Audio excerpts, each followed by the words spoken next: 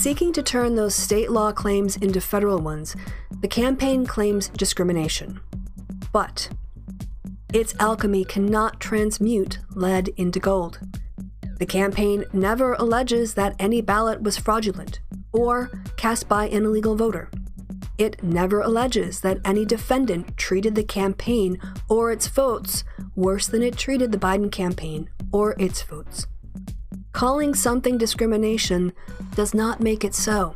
The second amended complaint still suffers from these core defects, so granting leave to amend would have been futile. Hey everyone, Kristi here.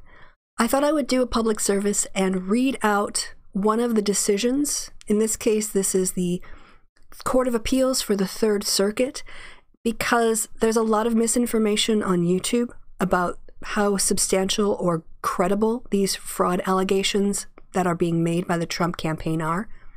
And when we read the court decisions, we can see why they're not being taken seriously.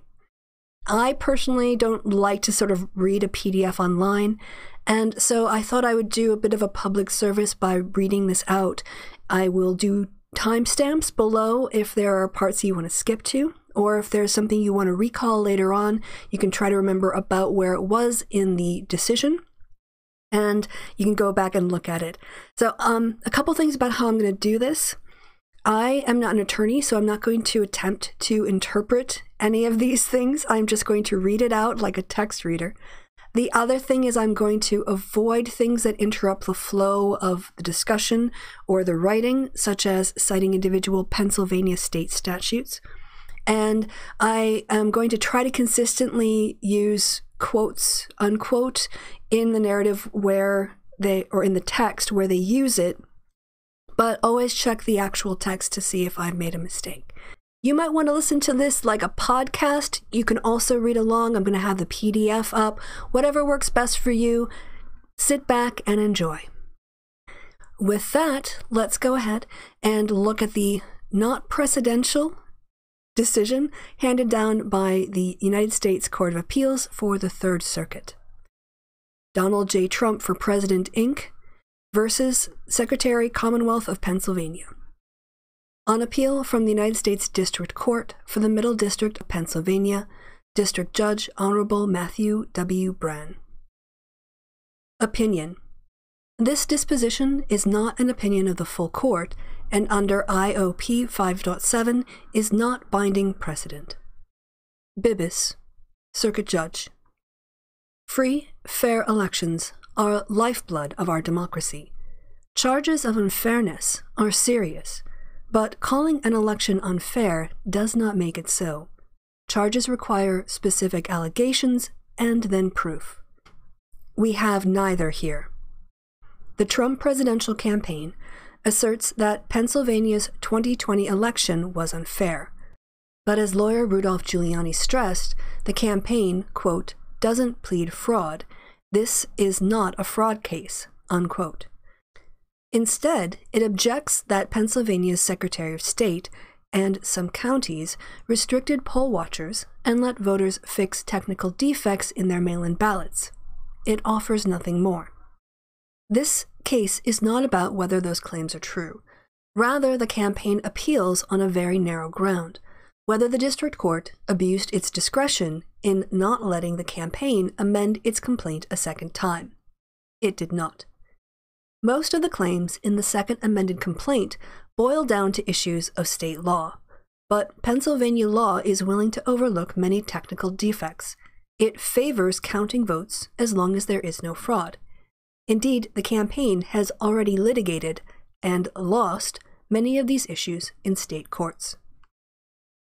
The campaign tries to repackage these state law claims as unconstitutional discrimination. Yet its allegations are vague and conclusory. It never alleges that anyone treated the Trump campaign or Trump voters worse than it treated the Biden campaign or Biden voters. And federal law does not require poll watchers or specify how they may observe. It also says nothing about curing technical state law errors in ballots. Each of these defects is fatal, and the proposed second amended complaint does not fix them. so the district court properly denied leave to amend again. Nor does the campaign deserve an injunction to undo Pennsylvania's certification of its votes. The campaign's claims have no merit. The number of ballots it specifically challenges is far smaller than the roughly 81,000 vote margin of victory, and it never claims fraud or that any votes were cast by illegal voters. Plus, tossing out millions of mail in ballots would be drastic and unprecedented, disenfranchising a huge swath of the electorate and upsetting all down ballot races, too. That remedy would be grossly disproportionate to the procedural challenges raised. So, we deny the motion for an injunction pending appeal. 1. Background A. Pennsylvania law. In Pennsylvania, each county runs its own elections. Counties choose and staff polling places. They buy their own ballot boxes and voting booths and machines. They even count the votes and post the results. In all this, counties must follow Pennsylvania's election code and regulations. But counties can, and do, adopt rules and guidance for elections officers and electors and they are charged with ensuring that elections are, quote, honestly, efficiently, and uniformly conducted, unquote. 1. Poll watchers and representatives. Counties must admit qualified poll, quote, watchers, unquote, to observe votes being tallied. Poll watchers must be registered to vote in the county where they will serve. Each candidate can pick two poll watchers per election district each political party, three. The poll watchers remain at the polling place while election officials count in person ballots. They can also check voting lists. And they get to be present when officials open and count all mail in ballots. Likewise, candidates and political parties, quote, representatives, unquote, may be present when absentee and mail in ballots are inspected, opened, or counted, or when provisional ballots are examined defining provisional ballots as those cast by voters whose voter registration cannot be verified right away. Still, counties have some control over these poll watchers and representatives. The election code does not tell counties how they must accommodate them. Counties need only allow them, quote, in the polling place, unquote, or, quote, in the room, unquote, where ballots are being inspected, opened, or counted. Counties are expected to set up, quote, an enclosed space, unquote, for vote counters at the polling place, and poll watchers, quote, shall remain outside the enclosed space, unquote. So the counties decide where the watchers stand and how close they get to the vote counters. 2. Mail in ballots. For decades, Pennsylvania only let certain people, like members of the military and their families, vote by mail. But last year, as part of a bipartisan election reform, Pennsylvania expanded mail in voting. Now, any Pennsylvania voter can vote by mail for any reason. To vote by mail, a Pennsylvania voter must take several steps. First, he or she must ask the state, Commonwealth, or his county for a mail in ballot. To do that, he must submit a signed application with his name, date of birth, address, and other information. He must also provide a driver's license number, the last four digits of his social security, or the like. Once the application is correct and complete, the county will approve it. Close to the election, the county will mail the voter a mail in ballot package. The package has a ballot and two envelopes. The smaller envelope also called the secrecy envelope, is stamped, quote, official election ballot, unquote. The larger envelope is stamped with the county board's election name and address and bears a printed voter declaration. Next, the voter fills out the ballot. He then folds the ballot, puts it into the first smaller secrecy envelope, and seals it. After that, he puts the secrecy envelope inside the larger envelope and seals that too. He must also, quote, fill out, date, and sign the declaration printed, unquote, on the outside of the larger envelope. The declaration for the November 2020 election read thus I hereby declare that I am qualified to vote from the below stated address at this election, that I have not already voted in this election, and I further declare that I marked my ballot in secret. I am qualified to vote the enclosed ballot. I understand I am no longer eligible to vote at my polling place after I return my voted ballot. However, if my ballot is not received by the county, I understand I may only vote by provisional ballot at my polling place unless I surrender my balloting materials to be voided to the judge of the elections at my polling place. Barcode. Voter sign or mark here, date of signing, voter printed name. Once the voter assembles the ballot packet, he can mail it back or deliver it in person. Not every voter can be expected to follow this process perfectly. Some forget one of the envelopes. Others forget to sign on the dotted line. Some major errors will invalidate a ballot. For instance, counties may not count mail in ballots that lack secrecy envelopes. But the election code says nothing about what should happen if a county notices these errors before Election Day. Some counties stay silent and do not count the ballots. Others contact the voters and give them a chance to correct their errors. B.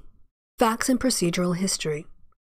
On appeal from the dismissal of a complaint, we take the factual allegations as true. 1. Mail in voting. For months, Pennsylvanians went to the polls, so to speak. The first batch of mail in ballots went out to voters in late September. As they trickled back in, elections officials noticed that some voters had not followed the rules. Some ballots were not in secrecy envelopes, so those packages were lighter and thinner than complete ballot packages. Others had declarations that voters had not completed. Some counties did not notify voters about these defective ballots. Others, including the counties named in this suit, decided to reach out to these voters to let them cure their mistakes by voting provisionally on election day or asking for a replacement ballot. 2. Election Day. Though more than 2 million Pennsylvanians voted by mail, even more voted in person. On Election Day, November 3rd, the campaign set up poll watchers at polling places around the Commonwealth. Appellees' elections officials kept poll watchers and representatives away from where ballots were opened, counted, and tallied. In Philadelphia, for instance, poll watchers were kept 6 to 25 feet back from officials. In comparison, other, quote, Republican controlled, unquote, counties did give the campaign's polling watchers and representatives full access. In all, nearly 7 million Pennsylvanians voted, more than a third of them by mail. As of today, former Vice President Biden leads President Trump in Pennsylvania by 81,660 votes. Pennsylvania counties certified their election results by the November 23 certification deadline. The next morning, the Secretary of State, technically Secretary of the Commonwealth, certified the vote totals, and the governor signed the certificate of ascertainment and sent it to the U.S. archivist. The certified margin of victory was 80,555 votes. 3. This lawsuit. Almost a week after the election, the campaign, as well as two voters, sued seven Pennsylvania counties and Secretary of State Kathy Boockvar. It alleged that they had violated the due process, equal protection, and electors and elections clauses of the U.S. Constitution by taking two basic actions.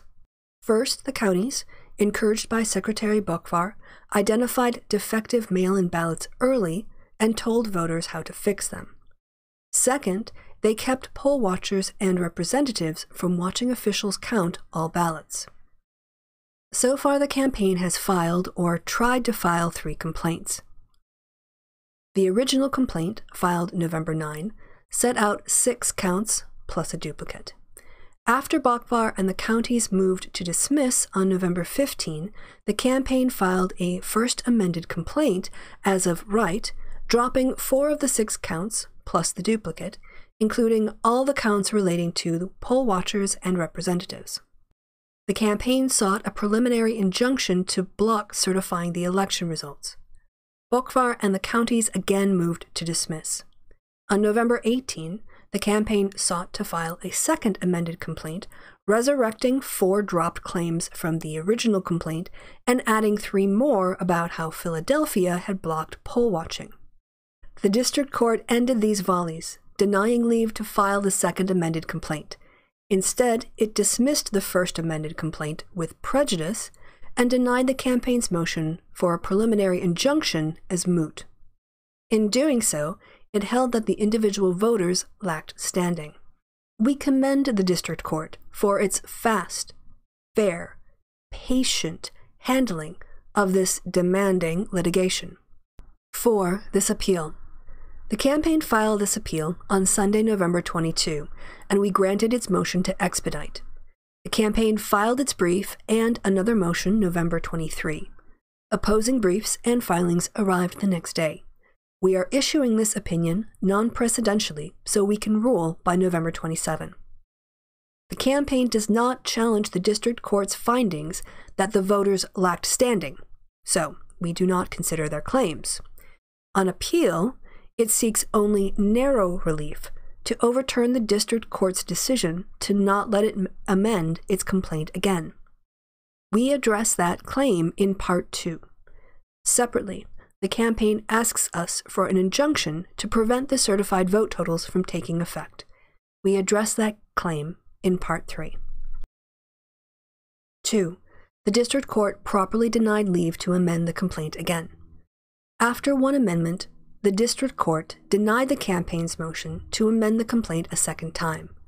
We review that denial for abuse of discretion. But on any standard of review, the court got it right. Courts should grant leave to amend, quote, freely when justice so requires, unquote. In civil rights cases, that means granting leave unless, quote, amendment would be futile or inequitable, unquote. Giving undue delay as an example of inequity. Here, the campaign's request fails as both inequitable and futile. A. The campaign's delay was undue given its stress on needing to resolve the case by November 23. When the campaign was before the district court, it focused its arguments on the need to resolve the case by Pennsylvania's deadline for counties to certify their votes, Monday, November 23. Indeed, all three iterations of the complaint focused their prayers for relief on blocking the certification of the vote tally. The campaign said it could get no, quote, meaningful remedy, unquote, after that date. The campaign filed its first amended complaint on November 15, eight days before the certification deadline. In response to several pending motions to dismiss, it dropped many of the challenged counts from the original complaint. It did not then move to file a second amended complaint until November 18, when its opposition to the new motions to dismiss was due and it did not file a brief in support of that motion until Friday, November 20. Certification was three days away. As the district court rightly noted, amending that close to the deadline would have delayed resolving the issue. True, delay alone is not enough to bar amendment, but, quote, at some point the delay will become undue, placing an unwarranted burden on the court, unquote. The campaign's motion would have done just that. It would have mooted the existing motions to dismiss and required new briefing, possibly new oral argument, and a reasoned judicial opinion within 72 hours over a weekend. That is too much to ask, especially since the proposed second amended complaint largely repleaded many claims abandoned by the first one affirming denial of leave to amend because the movant sought largely to, quote, replead facts and arguments that could have been pled much earlier, unquote. Having repeatedly stressed the certification deadline, the campaign cannot now pivot and object that the district court abused its discretion by holding the campaign to that very deadline. It did not. B. Amending the complaint again would have been futile. The campaign focuses on critiquing the district court's discussion of undue delay. Though the court properly rested on that ground, we can affirm that any ground supported by the record. Another ground also supports its denial of leave to amend. It would have been futile. 1. The campaign had to plead plausible facts, not just conclusory allegations. Plaintiffs must do more than allege conclusions. Rather, quote, a complaint must contain sufficient factual matter accepted as true to, quote, state a claim to relief that is plausible on its face, unquote, unquote. Quote, threadbare recitals of the elements of a cause of action, supported by mere conclusory statements, does not suffice, unquote. The second amended complaint does not meet Twombly's and Iqbal's baseline standard of specifics. To start, note what it does not allege fraud. Indeed, in oral arguments before the district court, campaign lawyer Rudolph Giuliani conceded that the campaign, quote, doesn't plead fraud, unquote. He reiterated, quote, if we had alleged fraud, yes, but this is not a fraud case, unquote. Though it alleges many conclusions, the second amended complaint is light on facts. Take the nearly identical paragraphs introducing counts 1, 2, 4, and 6. Quote, Democrats who controlled the defendant county election boards engaged in a deliberate scheme of intentional and purposeful discrimination by excluding Republican and Trump campaign observers from the canvassing of the mail ballots in order to conceal their decision not to enforce open brackets, certain ballots, close brackets, requirements. That is conclusory. So is the claim that, quote, upon information and belief, a substantial portion of the approximately 1.5 million absentee and mail votes in defendant counties should not have been counted, unquote. Quote, upon information and belief, unquote, is a lawyerly way of saying that the campaign does not know something is a fact, but just suspects it or has heard it. Quote, while legal conclusions can provide the framework of a complaint, they must be supported by factual allegations, unquote. Yet the campaign offers no specific facts to back up these claims. Two, the campaign has already litigated and lost most of these issues. Many of the second amended complaint's claims have already had their day in court. The campaign cannot use this lawsuit to collaterally attack those prior rulings.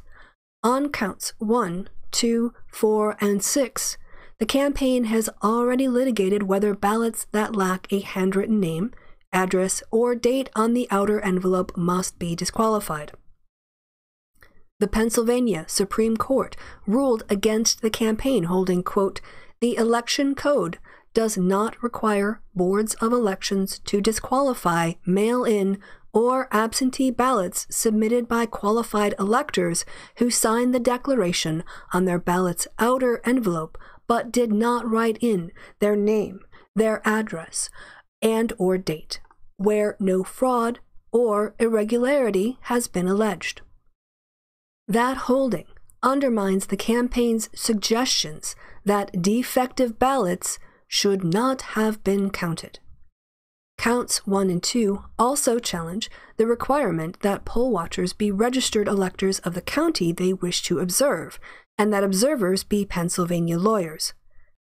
But a federal district court has already held, quote, that the county residency requirement for poll watching does not, as applied to the particular circumstances of this election, burden any of the campaign's fundamental constitutional rights, unquote. The campaign never appealed that decision, so it is bound by it. Count 7 alleges that Philadelphia's Board of Elections violated due process by obstructing poll watchers and representatives but nothing in the due process clause requires having poll watchers or representatives, let alone watchers from outside a county or less than 18 feet away from the nearest table. The campaign cites no authority for these propositions, and we know of none. Ditto for notice and cure procedures. And the campaign litigated and lost that claim under state law, too. The Pennsylvania Supreme Court held that the election code requires only that poll watchers be in the room, not that they be within any specific distance of the ballots. The campaign does not even challenge the dismissal of counts 3, 5, and 9 and the electors and elections clauses counts.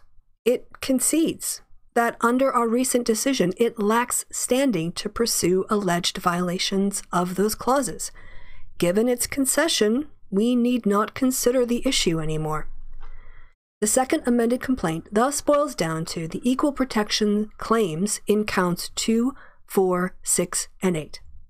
They require not violations of state law, but discrimination in applying it. Those claims fail too. 3. The campaign never pleads that any defendant treated the Trump and Biden campaigns or votes differently. A violation of the Equal Protection Clause requires more than variation from county to county. It requires unequal treatment of similarly situated parties. But the campaign never pleads or alleges that anyone treated it any differently from the Biden campaign. Count 1 alleges that counties refused to credential the campaign's poll watchers or kept them behind metal barricades away from the ballots. It never alleges that other campaigns' poll watchers or representatives were treated differently. Count 2 alleges that an unnamed lawyer was able to watch all aspects of voting in York County, while poll watchers in Philadelphia were not. It also makes a claim about one Jared M. Millett, who was able to poll watch in York County. Counts 4 and 6 allege that poll watcher George Galanthin had no issues in Bucks County, but was barred from watching in Philadelphia. And Count 8 alleges that Philadelphia officials kept Jeremy Mercer too far away to verify the ballots were properly filled out. None of these counts alleges facts showing improper vote counting and none alleges facts showing that the Trump campaign was singled out for adverse treatment. The campaign cites no authority suggesting that an actor discriminates by treating people equally while harboring a partisan motive, and we know of none. These county to county variations do not show discrimination. Quote, counties may, consistent with equal protection, employ entirely different election procedures and voting systems within a single state, unquote. Even when boards of elections, quote, vary considerably, unquote, in how they decide to reject ballots, those local differences in implementing statewide standards do not violate equal protection. Recognizing that equal protection lets different counties use different voting systems nor does Bush v. Gore help the campaign. There, the Florida Supreme Court had ratified treating ballots unequally. That was because the principle it set forth, the quote, intent of the voter, unquote, lacked any, quote, specific standards to ensure its equal application, unquote. The lack of any standards at all empowered officials to treat ballots arbitrarily, violating equal protection. Here, by contrast, Pennsylvania's election code gives counties specific guidelines. To be sure, counties vary in implementing that guidance, but that is normal. Reasonable county to county variation is not discrimination. Bush v. Gore does not federalize every jot and tittle of state election law. 4. The relief sought throwing out millions of votes is unprecedented. Finally, the second amended complaint seeks breathtaking relief, barring the Commonwealth from certifying its results or else declaring the election results defective and ordering the Pennsylvania General Assembly, not the voters, to choose Pennsylvania's presidential electors. It cites no authority for this drastic remedy. The closest the campaign comes to justifying the relief it seeks is citing Marks v. Stinson, but those facts were a far cry from the ones here. In Marks, the district court found that the Stinson campaign had orchestrated, quote, massive absentee ballot fraud, deception, intimidation, harassment, and forgery, unquote, quoting district court's tentative findings. It had lied to voters, deceived elections officials, and forged ballots. We remanded that case, instructing that, quote, the district court should not direct the certification of a candidate unless it finds, on the basis of record evidence, that the designated candidate would have won the election but for the wrongdoing, unquote. And that seemed likely. The Stinson campaign had gotten about 600 net absentee ballot applications, more than the 461 vote margin of victory. Here, however, there is no clear evidence of massive absentee ballot fraud or forgery. On the contrary, at oral argument in the district court, the campaign specifically disavowed any claim of fraud. And the margin of victory here is not nearly as close. Not 461 votes, but roughly 81,000. Though district courts should freely give leave to amend, they need not do so when amendment would be futile, because the second amended complaint would not survive a motion to dismiss the district court properly denied leave to file it. 3. No stay or injunction is warranted. We could stop here. Once we affirm the denial of leave to amend, this case is over. Still, for completeness, we address the campaign's emergency motion to stay the effect of certification. No stay or injunction is called for. Though the campaign styles its motion as seeking a stay or preliminary injunction, what it really wants is an injunction pending appeal.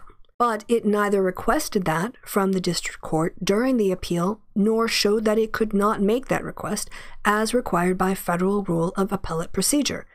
That failure bars the motion. Even if we could grant relief, we would not. Injunctions pending appeal, like preliminary injunctions, are, quote, extraordinary remedies never awarded as of right, unquote. For a stay or injunction pending appeal, the movant must show both one, a quote unquote strong likelihood of success on the merits, and two, irreparable injury absent a stay or injunction. The first two factors are, quote, the most critical, unquote. After that, we also balance 3. Whether a stay or injunction will injure other interested parties, also called the balance of equities, and 4. The public interest. None of the four factors favor taking this extraordinary step. A. The campaign has no strong likelihood of success on the merits. As discussed, the campaign cannot win this lawsuit. It conceded that it is not alleging election fraud. It has already raised and lost most of these state law issues, and it cannot relitigate them here. It cites no federal authority relegating poll watchers or notice and cure. It alleges no specific discrimination, and it does not contest that it lacks standing under the elections and electors clauses. These claims cannot succeed. B. The campaign faces no irreparable harm. The campaign has not showed that denying relief will injure it. Quote, upon information and belief, unquote, it suspects that many of the 1.5 million mail in ballots in the challenged counties were improperly counted. But it challenges no specific ballots. The campaign alleges only that at most three specific voters cast ballots that were not counted and it never alleges that anyone except a lawful voter cast a vote. Of the seven counties whose notice and cure procedures are challenged, four, including the three most populous, represented that they gave notice to only about 6,500 voters who sent in defective ballot packages. The campaign never disputed these numbers or alleged its own. even if 10,000 voters got notice and cured their defective ballots, and every single one of them voted for Biden, that is less than an eighth of the margin of victory. Without more facts, we will not extrapolate from these modest numbers to postulate that the number of affected ballots comes close to the certified margin of victory of 80,555 votes. Denying relief will not move the needle. Plus, states are primarily responsible for running federal elections. Pennsylvania law has detailed mechanisms for disputing election results. Because the campaign can raise these issues and seek relief through state courts and then the U.S. Supreme Court, any harm may not be irreparable. C. The balance of equities opposes disenfranchising voters. Nor would granting relief be equitable. The campaign has already litigated and lost most of these issues as garden variety state law claims. It now tries to turn them into federal constitutional claims but cannot. Even if it could, it has delayed bringing the suit. For instance, in proposed count 4, it challenges giving voters notice and letting them cure ballot defects as violating equal protection.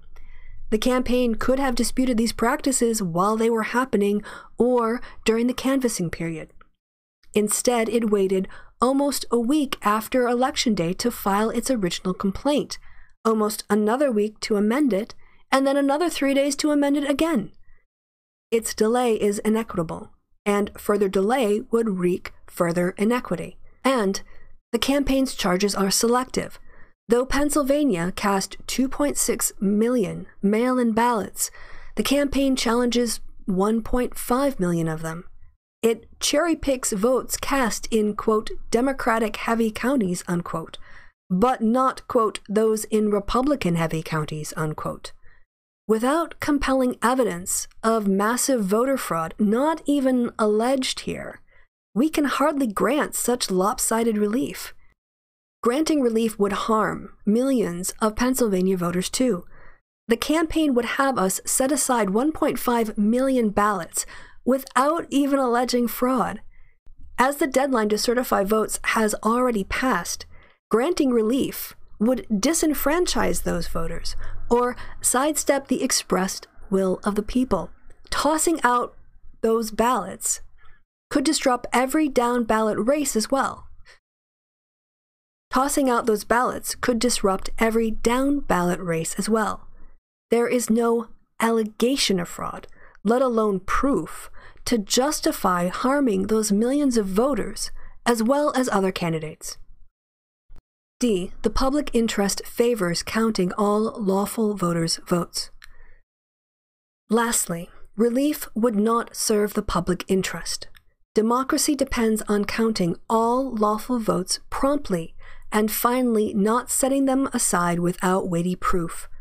The public must have confidence that our government honors and respects their votes. What is more, throwing out those votes would conflict with Pennsylvania election law, the Pennsylvania Supreme Court has long, quote, liberally construed, unquote, its election code, quote, to protect voters' right to vote, unquote, even when a ballot violates a technical requirement. Quote, technicalities should not be used to make the right of the voter insecure, unquote. That court recently reiterated, quote, the election code should be liberally construed so as not to deprive, inter alia, electors of their right to elect a candidate of their choice. Unquote. Thus, unless there is evidence of fraud, Pennsylvania law overlooks small ballot glitches and respects the expressed intent of every lawful voter.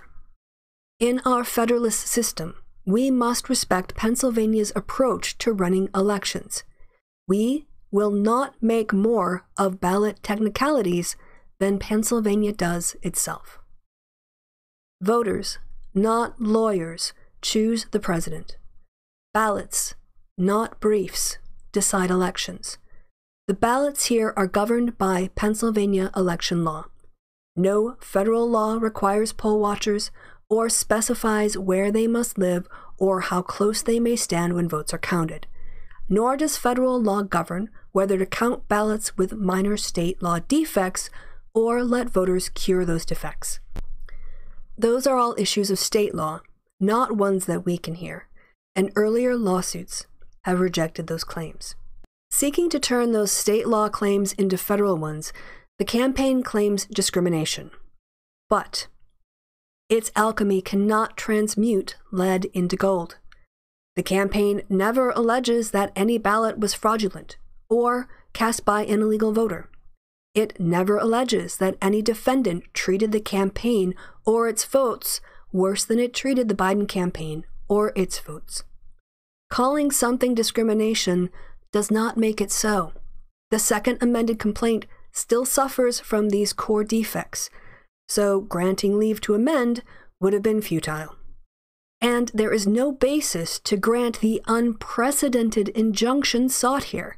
First, for the reasons already given here, the campaign is unlikely to succeed on the merits. Second, it shows no irreparable harm, offering specific challenges to many fewer ballots than the roughly 81,000 vote margin of victory. Third, the campaign is responsible for its delay and repetitive litigation. Finally, the public interest strongly favors finality, counting every lawful voter's vote and not disenfranchising millions of Pennsylvania voters who voted by mail. Plus, discarding those votes could disrupt every other election on the ballot. We thus affirm the district court's denial of leave to amend, and we deny an injunction pending appeal. The campaign asked for a very fast briefing schedule, and we have granted its request. Because the campaign wants us to move as fast as possible, we also deny oral argument. We grant all motion to file over-length responses, to file amicus briefs, and to supplement appendices. We deny all other outstanding motions as moot. This court's mandate shall issue at once. All right, I hope you enjoyed listening to that reading of the United States Court of Appeal for the Third District's decision on the Donald J. Trump uh, for President Inc. case. I know that reading through it itself has made it a lot more real to me and a lot more like grounded in what the court's thinking was and also the lack of evidence. So yeah, if if anything, if this helps you make better arguments countering the propaganda out there being pushed by Trump and his supporters that the election was unfair, I hope you feel better educated and have a better factual grounding in the court's reasonings for at least this equal protection clause and other claims that they have refused to um, let proceed as not having standing and not having merit. Okay, till next time, guys, I have been Kristi. You have been awesome. Thank you for your time and attention, and have a great day.